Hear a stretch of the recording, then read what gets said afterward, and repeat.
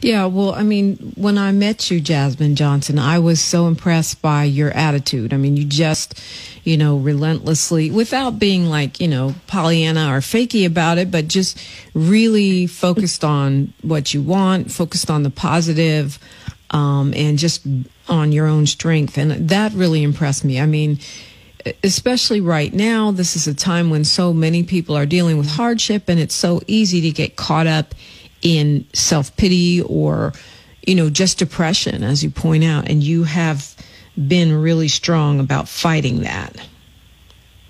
Yeah, for sure. Um, I definitely didn't want to. Um, I didn't want to get caught up, like you said, in, in any any form of self pity. I didn't want to look at myself and see myself as a victim.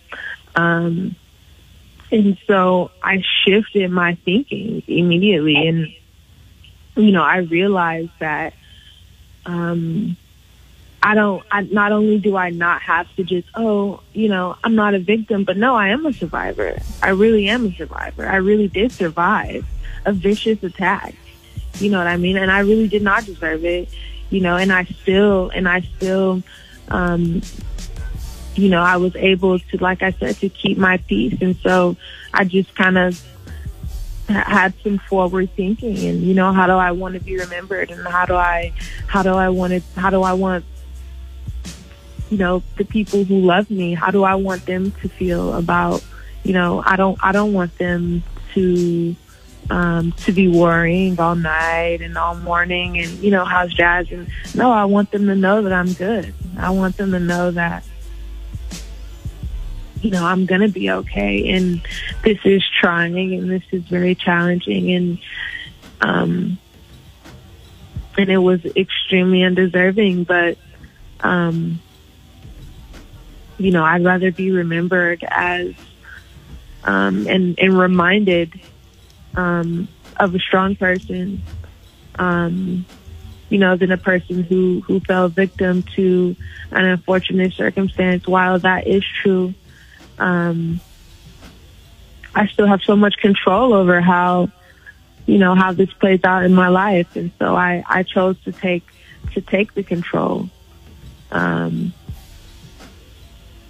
and to use the situation to, to continue to be me, you know, and, and to be the best version of myself. Hmm, powerful words. So, um, a couple things I want to ask you. So, sure. first of all, this is expensive, right? Um, anytime we have to have a lot of hospitalizations and physical therapy and such, this is, you know, this is one of the reasons yeah. why I'm a big proponent of Medicare for all. This is why, you know, uh, people don't realize, you know, the impact of of uh, health care on yeah. on family finances. So you do have a GoFundMe, right? I do have a GoFundMe, yeah. How do we find it if we want to help fund you? Um, let's see. So, the name of my GoFundMe uh, is Mass Shooting Survivor Will Walk Again by Jasmine Johnson. And I think you should be able to find it that way. Yeah, we'll um, find it. we'll find it. We'll post it at kjlhradio.com. By that title, you're determined to walk again?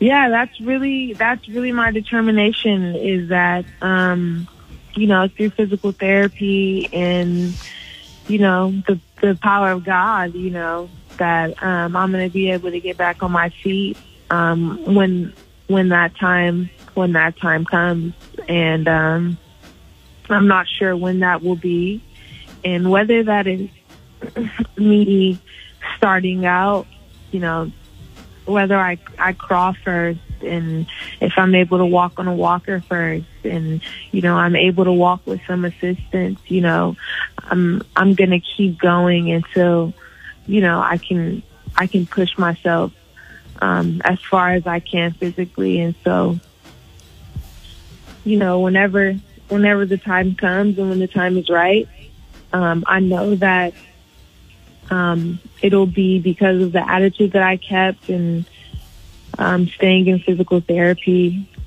Um, it'll be because of those decisions that I made that that will have led me to success. Yeah. Well, uh, you know, you're um, you're a tough lady, and I, you know, I admire that. I mean, I think you know most of Thank us have, have never been tested to that level to see can I stay focused. You talk about staying focused on what you want, you know, and can I stay positive. Um, you know, you have really accomplished a lot in both of those areas of staying positive, staying focused on what you want, staying determined, even in the face of the most incredible adversity. Right. Two things. Um, I, I, you know, I wasn't expecting us to talk this long, but I'm glad we did because I think it's been really um, informative for everybody, and I really appreciate you, you know, just sharing your story. Do you? Are you? Do you find yourself being fearful, like when you, you know, you when you read about other mass shootings? Um, uh, what you know, when you when you think of what's happening in the news, or does uh, is your perspective changed by being attacked uh, at random by a gunman? Yeah, um, absolutely. And um, yeah, absolutely. I mean, not even just, I mean, hear, hearing about these things on the news, I know that there were two officers uh, shot like just the other day. And um, man, that just kind of, it, it is it is unfortunate to be able to realize that kind of fear. And to be attacked out of nowhere is just um is the scariest thing that that could ever happen you know? And and once it does happen to you yeah you are definitely looking over your shoulder you know at times that you you never would have before you know? I'm i'm out eating at restaurants and i'm like wow you know is this a place where where a shooting could happen? And i mean unfortunately the answer is i guess any place is a place where uh where something like this can happen. You hear about it on the news. This happens in schools. This happens in churches. This happens at walmart. This happens there's not a place really where this hasn't happened um, not a in the United. States, yeah. I mean, you'd have to go to another. States? Yeah, Yeah, you'd have to go to another right. country. Yeah, which is crazy if you think about it. Yeah. And it's yeah, it's it's really yeah, it's crazy. So um I'm definitely um, you know, mindful of the fact that it could happen and it's I think once that fear is placed in you, um once once it's placed in you, it's like you know, you can't you can't it can't be removed, I don't think. And I think that is a part of what PTSD is. I think that Mm. once you have it in you, um, it can't be taken out because now you know it. You know, you know this fear. Um, whereas you didn't, you may have not known it before, and you know certain things may not have bothered you, but um, afterwards, and you know, moving forward, as normal as you want to feel, and as normal you want to make yourself, you know, and comfortable as you want to be in situations. Is I think that there's always going to be that roaming, um, you know, that roaming thought that um, this is, you know, this is a place where something, you know, any place is a place. Um, in America, any place is a place where a shooting could take place. Unfortunately, Yeah, it, uh, I'm I'm so sorry for what happened to you. Is there a side of is there a side of also hope or or um, a different way of looking at others? I mean, you did have a person that you didn't know well come out and bring you into safety. Is that Right. also a factor in how you look at life, or um, you know how you perceive the world after this? Yeah, absolutely. Um, absolutely. And I'm so glad you asked that because um, that night on October 29th, that was the hardest night. And, um, you know, there were hard nights after that, but the amount of love and the amount of support and the words of encouragement that I received from friends and from family and even from strangers um, is so is so hard to ignore, you know.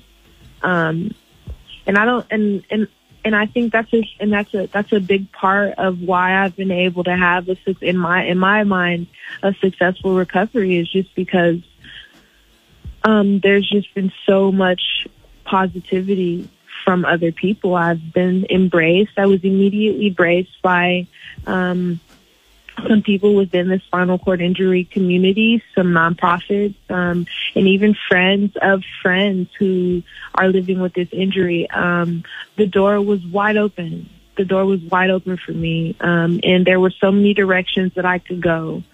And there were so many places that I could go where I felt safe. Um, after this injury, where people really opened their arms and they opened up their hearts to me. Um, I have visitors in the hospital every single day in the hospital. There was not a day that I did not have a visitor. Um, there was not a night that I had to sleep alone in the hospital. And so there were so many people who were so good to me. Um, and starting with Alex, um, starting with Alex coming back and coming back for me. Um, yeah, I mean, there were so many people who were just so kind to me and who have continued to be kind to me. Um, and who have, like I said, encouraged me and have reached out to me and have donated to my fundraiser. Um, and so there's a lot of love out there and it's impossible for me to ignore that. Well, Jasmine Johnson, thank you so much for sharing your story with us this morning. Yeah, thank you so much for having me. I really appreciate it. GoFundMe.com. Uh, uh, mass shooting survivor will walk again. Please keep us updated. Keep us in your loop. If you do any fundraisers or events or, uh, you know, just you want to give us an update, definitely reach out. I would love to be part of your success. Oh, for sure. And thank you so much. Um, yeah, this was a this was a great conversation. I'm really glad that I did this. Excellent. All right, we're gonna we're gonna talk a little bit about the ballot when we get back. We're gonna start our journey towards understanding what the heck we're voting on locally. Uh, we know what's on the national ticket. Of course, we like to talk about that too. But today, time to get a peek at your LA County uh, ballot. That's straight ahead. It's radio free, 102.3 KJLH.